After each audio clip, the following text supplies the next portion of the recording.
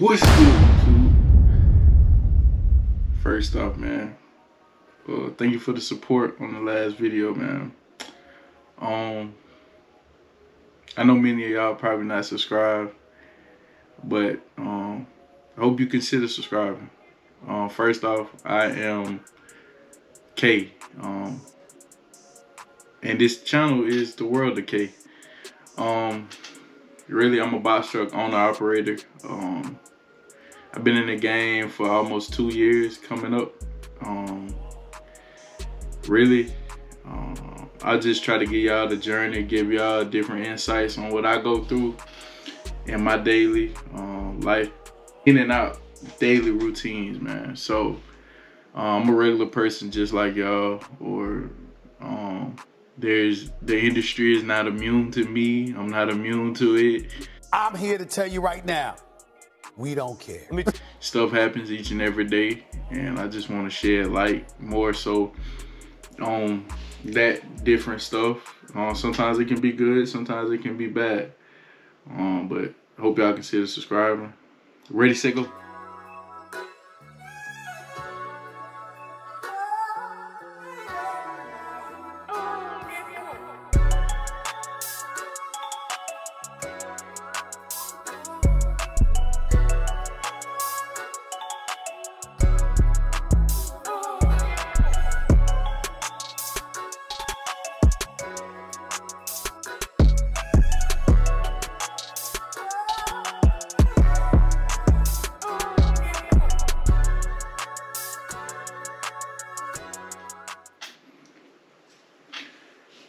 Alright, so first off, y'all, um, title of the video, you already know why was I gone so long, what happened, what led me to sell the truck, as you saw in the last video.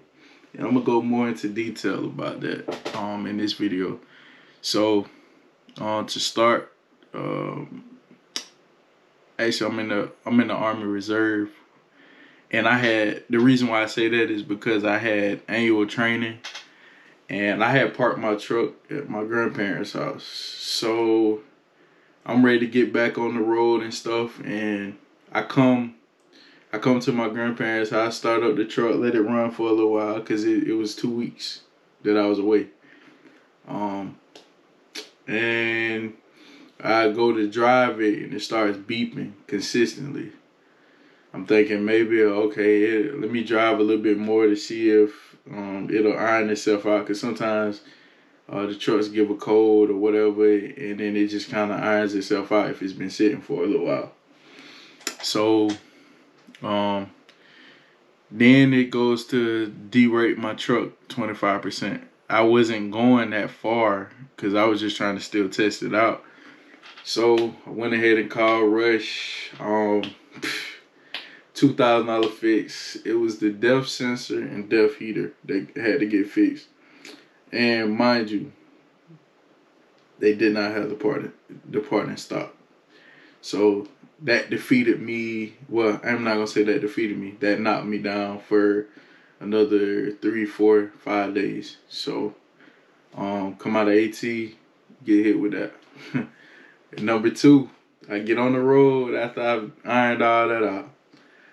So with these starters on this on those different box trucks, man, they don't give no indication that they're about to go out. Never gave me a struggle.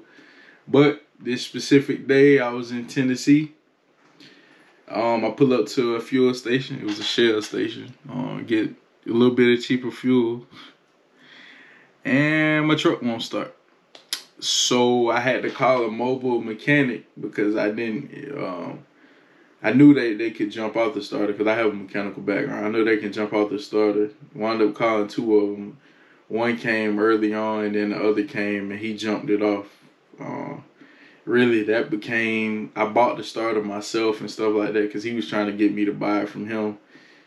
Um, that really cost me freaking I don't even know, um, thirteen hundred dollars. So this was like week like maybe two weeks in between. So, um, all right. So, um, everything in this video is not bad. It's just what led to the decision that I had to make in order to make my business kind of um, equal out. So also at this point in time, I knew I had my um my other son coming, Kylan. Um, put a picture in here, show both of them together, but um both of my sons together. But um my fiance at the time, um well, we knew it was getting closer to time. We really didn't have all the stuff we needed in order to um, bring him into this world and be able to uh, give him like the bed and the crib and stuff like that. So um, then they said they were gonna have to induce her. Um, I had a number that I needed to make in order to make things go correctly.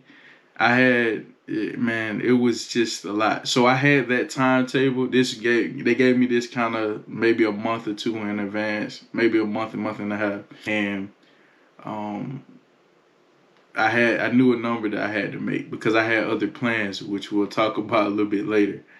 Um, so long story short, the truck didn't make it until that due date.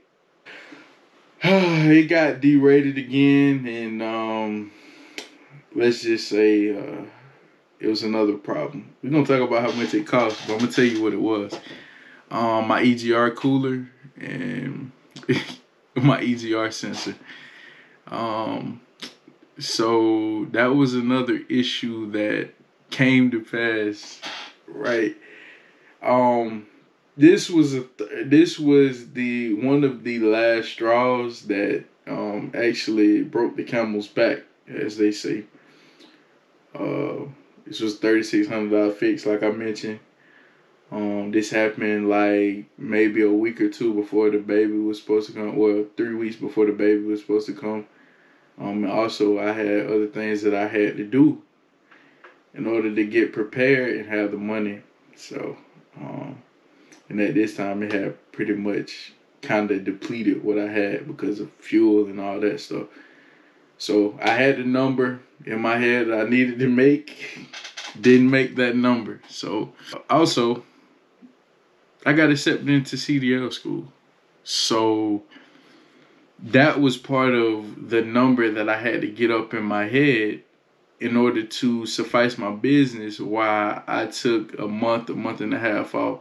So all in all, I wound up taking almost three months, two and a half months off from the truck because once I once I decided to sell it, um, I got I, I, I almost got scammed twice. Um, there's there's bad people in the world, guys. Uh, it's not the end of the world, but um, it, uh, it took almost two and a half months because of the financing with the guy that I got to um, buy the to buy the truck from me. Um, it was just a lot. It was it was a humbling experience, and it really taught me to um, really spread out my horizons because there's a lot more I can do other than trucking, man. So, um, man, a lot happened. Um, so I had to stay out the road two, two and a half months. And by the grace of God, I made it through. Um, we're back now, honestly. And on the brighter side of things, we have my son. He's healthy. Um, I got to spend a lot of time with him. I spent up until he was uh, two, two and a half months. Um, also, y'all, I got married, as you can see.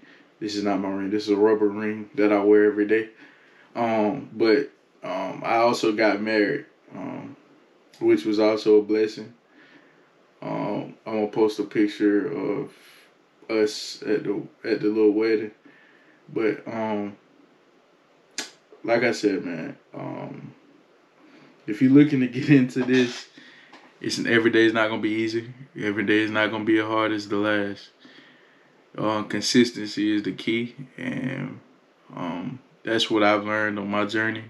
And I hope each and every one of y'all is doing good. Hope y'all continue to watch the videos. I hope y'all like and subscribe, man. If you found something um, interesting in this video or if you thought it was funny, if you thought it was uh, sad or whatever, give me a like. Put me in the algorithm, man. Um, on the next video, I'm gonna tell y'all how I got my CDL for free. So stay tuned for that. And um, this your boy Kay.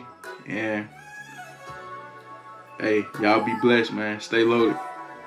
I'm gone.